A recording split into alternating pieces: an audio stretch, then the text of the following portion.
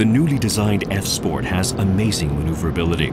In addition to the front steering, dynamic rear steering gives the driver total control over rear steering, along with a tremendous sense of security and the fun of handling just as your heart desires. It's all provided by the new LDH system, installed in a Lexus for the first time. For example, at high speeds you can see how the rear wheels turn ever so slightly in the same direction as the front wheels. Applying this movement to the rear tires stabilizes the movement of the car in response to how the driver steers. This allows the driver to get an even more agile response within tighter limits in situations such as lane changes or quick evasions, with no feelings of discomfort. At lower speeds, the front wheels steer like this, opposite from the rear.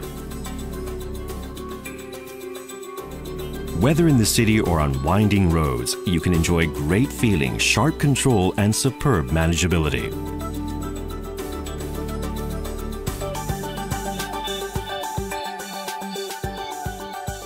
This dynamic rear steering and variable gear ratio steering work together to not only control the car's turning angle, but also by using a variety of sensors to detect road conditions, the car's position, and even the driver's steering control.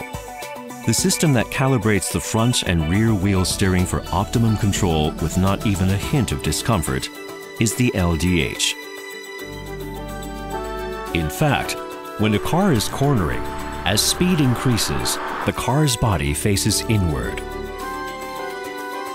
This LDH enables cornering with the car facing straight in the direction of travel, relieving the driver of stress and allowing full enjoyment of safe, stable cornering. As a result, the new GS gets astounding performance boosts through absolute stability at high speeds, along with a new level of agility that further enhances the driver's enjoyment. And its active safety performance is markedly increased.